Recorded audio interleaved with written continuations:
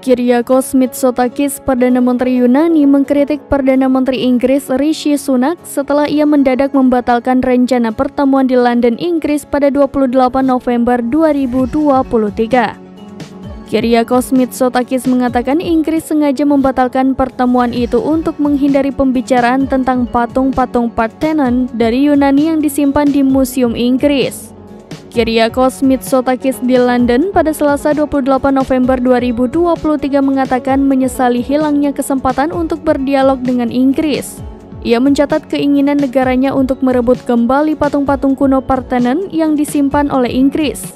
Perdana Menteri Yunani dijadwalkan untuk berbicara dengan rekannya dari Inggris, Rishi Sunak, setelah pertemuan dengan para pemimpin partai buruh di Inggris pada Senin 27 November 2023. Pertemuan tersebut dibatalkan tanpa pemberitahuan sebelumnya.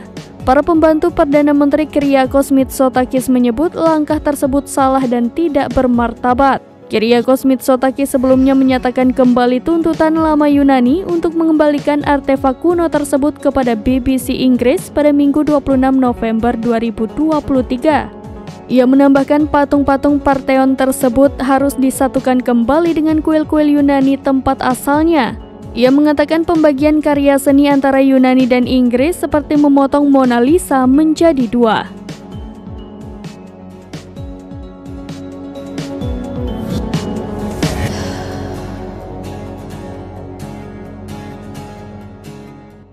Download Tribun X sekarang, menghadirkan lokal menjadi Indonesia.